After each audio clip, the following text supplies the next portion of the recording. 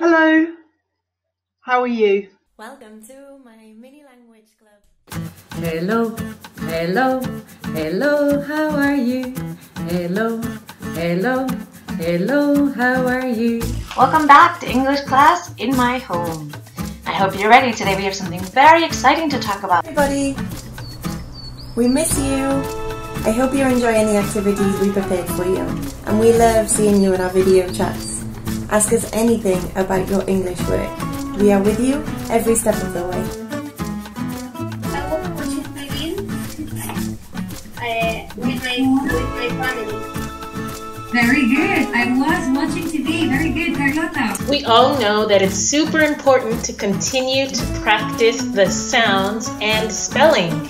So, in science, you know that we are all talking about the animal kingdom and we're talking about um, invertebrate animals.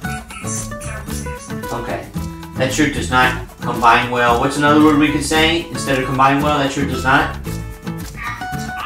Very good. We're going on a bear hunt. We're going to catch a big one. What a beautiful day. We're not scared. Uh-oh, grass. Long wavy grass. Say it in complete sentence, please. Uh, one year ago, my favorite film was a Star Wars one. Very good. Look at all these car toys that I've got here. Which color is this car? Red. Well done. What about this? Blue. Excellent. We live at a time when the world is connected like never before. Still, these days, many of us find ourselves separated physically, even from people closest to us. It's a time when we value and appreciate languages more than ever before. Language, that incredible gift that allows us to communicate, allows human beings to communicate in so many ways, whether reading, writing, listening, or speaking, telling someone how we feel, checking the news. Charlemagne said, to have two languages is to have two souls.